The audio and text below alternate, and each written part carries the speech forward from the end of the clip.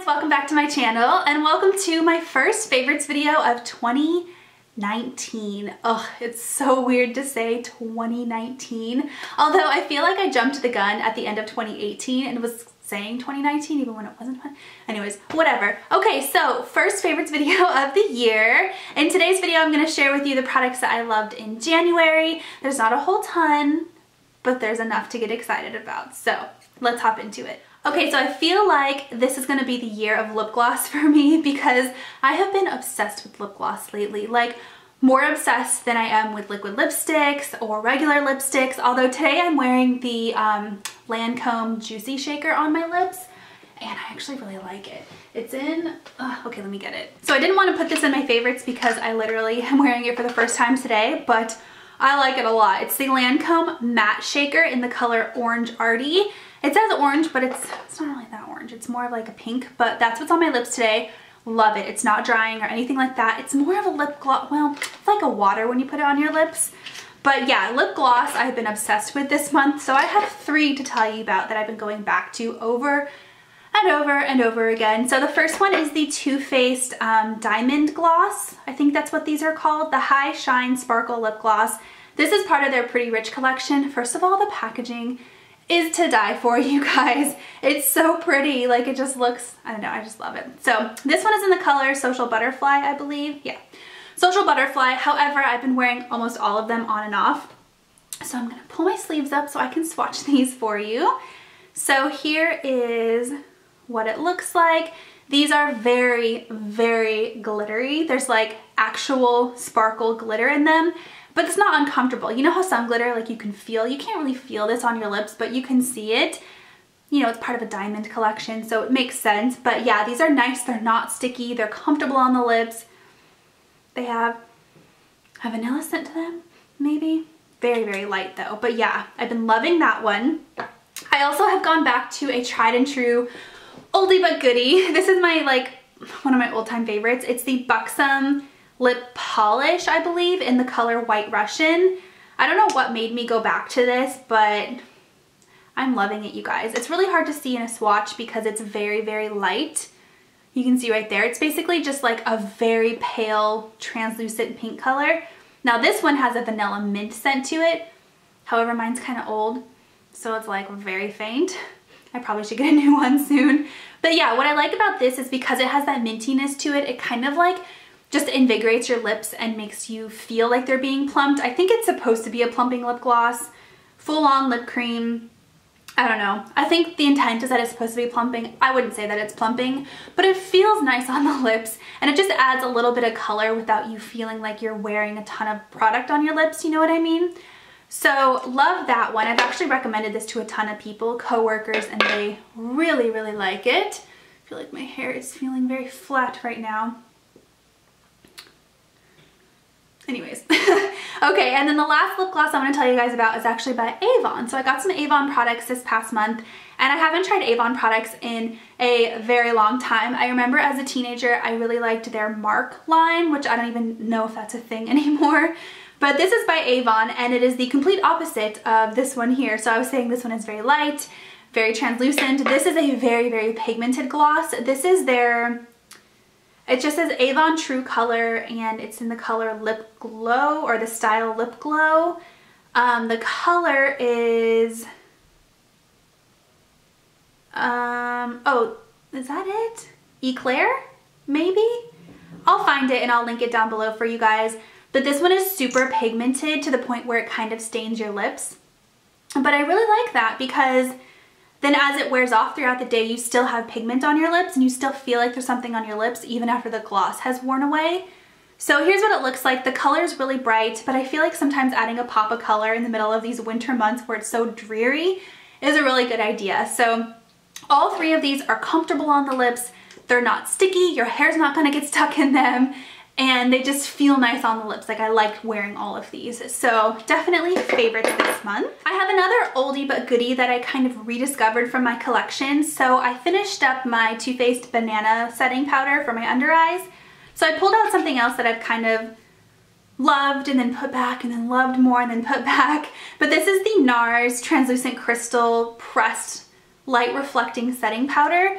So it's kind of dirty, like you can see, oh, it's just me that uses it, so I feel less weird about that. So don't mind the dirtiness, it's supposed to be white, but what I like to use this for is to set my under eyes, and I feel like it's so soft and so, so, so finely milled that it just, it doesn't look cakey at all when you set your under eyes with it. It just puts like the slight dusting of powder. It's not gonna leave your under eyes white looking or anything like that. You're not gonna get any weird flashback or anything like that with it but it just like smooths out your under eyes, sets your concealer so it's not gonna crease.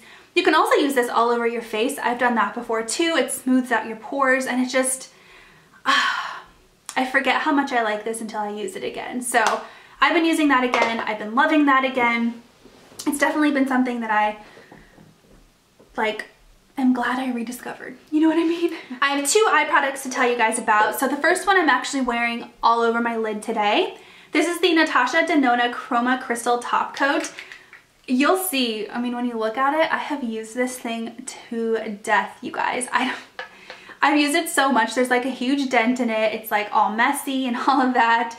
So basically this is supposed to be a top coat for your eyeshadows, but I've been using it as an all over lid color and I feel like it's pigmented enough to kind of get away with doing that. Okay, that's a horrible swatch. Let me try that again. I put that in the most like inconvenient place. So here's what it looks like. I don't think I told you the color. It's called Nude. Yeah, Nude is the color. So here's what it looks like. It's just the prettiest, like lightest dusting of color. And I don't have a makeup wipe near me, so I'll use my pants. Um, but yeah, you can kind of put it on a little bit more sheer and it looks more glossy or you can kind of build it up and there's a little bit more color like I'm doing today on my lids. And I just love the way this looks. It's enough sparkle to where you feel like you, you have sparkle on your lids, but it's not glittery. It's not like too overdone. You can wear it in the day and you're not gonna feel like you're, you know, have too much makeup on or anything like that. It just, it feels and looks really nice for everyday wear. I wear it to the office all the time. I it to work all the time. Today's the weekend, we're running errands, I'm wearing it today. And I don't feel overdone or anything like that. So yeah, I've been loving this. I have another one in the color bronze, I believe, that I haven't tried yet. So I'm gonna have to bust it out and try it since I like this one so much. And then the second eye product is a quad by Charlotte Tilbury. This is in the color Pillow Talk. I actually purchased this off of the Charlotte Tilbury website and it was like, so originally it launched in like maybe November and it sold out and I was so sad that it sold out because I was like, I had it in my cart and I was like, no, I'll wait a couple days and then it sold out and it was supposed to be limited edition, never coming back. And I was so bummed. And then she relaunched it in December. So that's when I picked it up. And then I thought that was to be it, that it was limited edition, but now it's available on Nordstrom's website. So I don't know. They like to trick you with that limited edition talk. Don't believe it. I don't think any company truly has limited edition stuff, maybe MAC. But anyways, I fell into the hype, but I've been loving it, you guys. And it's actually nice that it's available because I feel comfortable talking to you guys about it now. Whereas before, I would be like, oh, this blush, this, well, there's a blush version of it too, but this eye quad is amazing, but you can't get it. But now you actually can get it. It's on the Nordstrom website, so I'll link it down below for you. Um, but here's what it looks like. So basically it's a spin or a play off of their Pillow Talk lipstick. They basically expanded that line and now they have a blush and an eye quad. I talked about the blush in my December favorites and now I'm talking to you guys about the eye quad. It is so pretty. So it has two shimmers and two mattes. The shimmers are so pretty. Like if there's ever a day where I don't want to pull out like a separate product like this top coat, I will just kind of grab this and that shimmer, can you see it? It's just like a rose gold, beautiful color. Um, this one is a little bit less shimmery. It's more of like a highlight color, but you can use it to either pop in the center of your lid, highlight your brow bone, highlight your inner corner.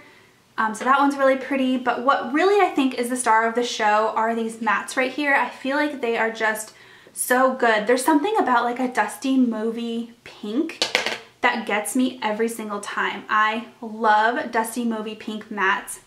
I don't know what it is. I just, I love them. So there's the swatch. I've been using that kind of in my crease a lot. And then, do I have a clean finger? This brown color is like a warm brown with like almost like a pinky undertone. and the mattes are just so good. They swatch really nicely. So there's the quad right there. I feel like it's beautiful for like a natural, um, kind of like everyday, blushy, flirty, romantic eye, like perfect for a Valentine's Day look. You're not gonna get a super smoky eye out of it, but you are gonna get like a really pretty, just like, I don't know, I just love it. I just love it so much. I love it. And it's small, so it fits in my like everyday makeup drawer. You can throw it in your purse and it's a star. It really, really is. Okay, last thing I wanna tell you guys about is a skincare product. So this is by the brand Tracie Martyn, I think is how you say it, M-A-R-T-Y-N, Tracie Martyn. And this is a clarifying toner. So the reason why this appealed to me, um, so I did get this off of Octoly, so Octoly sent this to me for review purposes, but the reason why it appealed to me is because it's targeted for like acne control and salicylic acid has been drying my skin out lately. I think my skin has just been dry lately in general. It's the winter time. I've actually had like flaky like dandruff, like my scalp is dry, just like everything is dry. The winter is killing my skin this year. And so I've been trying to stay away from salicylic acid because it just dries my skin out even more. So the appeal of this is there is no salicylic acid in it, but it's supposed to help with things like acne. But on top of that, it's supposed to be like a brightening toner as well. I don't know. I'm not super convinced on toners as being part of my skincare process. Um, I use them on and off and most of the time I don't use a toner, but the fact that it's kind of helping with things like acne or it's supposed to help with things like acne makes it more appealing to me, if that makes any sense at all. So yeah, I'm not totally sold on the whole toner thing, but this has been a really good one. So this one has, um, what are the active ingredients in it? White tea and olive leaf. So basically what I'll do, yeah, it says clarifying and brightening, clarifying and brightening essence. So yeah, that makes sense. That's what I've noticed it does. So what I'll do is um, I'll pump it on like a cotton pad or a cotton round and after my face wash, but before serum and before moisturizer is kind of when I use it. I'll just rub it all over my face and it does seem to be helping with some of the acne. I don't get acne too crazy, luckily, um, knock on wood. I'm very fortunate in that aspect. I don't get a lot of acne, but when I do, I want to use something to help take care of it. So usually I'll use things like tea tree oil, um, or a face wash with salicylic acid in it, but I already said that's drying me out. So yeah, this has been helping with that and it hasn't been drying out my skin at all and I really like the way it smells. It has like a, a fresh, non-herbally smell to it. And I feel like herbally smells are just like, usually when you have a product like this, it smells herbally. I don't know, am I wrong there? Whatever. But yeah, it just smells really nice. It doesn't have an alcohol base to it, so it's not gonna dry out your skin. It just leaves my skin feeling and I really, really like it. So I wanted to tell you guys about that. Okay guys, well those are the products that I loved in the month of January. I told you not a ton, but enough. enough to make a favorites video on. So let me know in the comment section down below what products you loved in the month of January so that I can check them out if I haven't already. And thank you guys so much for watching. I will talk to you next time. Bye.